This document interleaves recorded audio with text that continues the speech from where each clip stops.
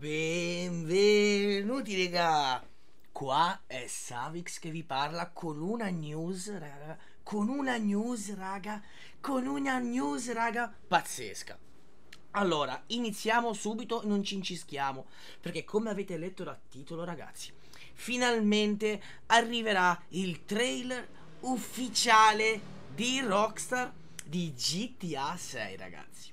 Quindi questo famoso ragazzi tizio che già anni fa ci aveva pescato con l'uscita di GTA 5, aveva dato delle piccole dritte, ok? Ci aveva già stuzzicato la testa e aveva azzeccato tutto ragazzi. A sto giro se n'è uscito con questo post. Guardate. Allora ragazzi, io non ci capisco un cazzo di inglese, mi sono fatto aiutare da Google Translate, quindi continuiamo.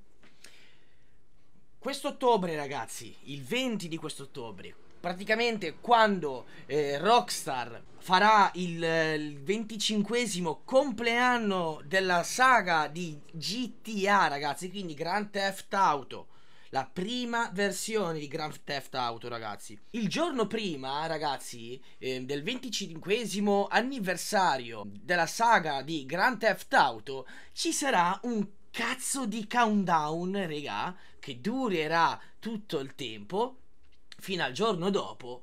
Dopodiché partirà finalmente il trailer ufficiale di GTA 6. Non sappiamo come si chiama, ragazzi, non sappiamo quale sarà il logo, non sappiamo un cazzo, ma Rockstar è stata costretta a comportarsi in questa maniera. Per quale motivo, ragazzi? Il motivo semplicemente è questo dall'uscita di questi leak hanno sfasato un po' tutti i loro piani.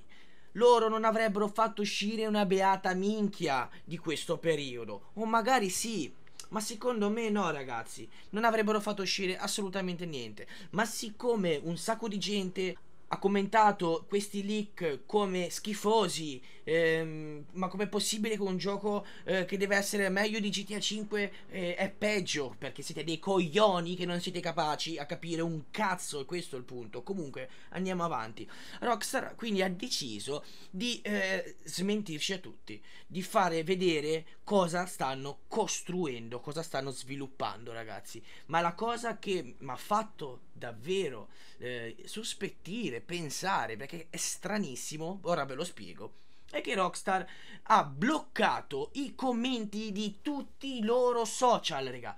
Quindi noi, se andiamo, non potremo più commentare un cazzo. Per quale motivo ve lo spiego? Perché se no se non facevano così, era facile eh, per qualsiasi persona andare in un sito, in un social Rockstar e ehm, postare magari un leak che è stato postato in questi giorni e quindi non si sarebbe mai andato avanti. Invece in questa maniera bloccando tutti i contatti con loro in poche parole, tramite di loro non riusciranno più a farsi pubblicità.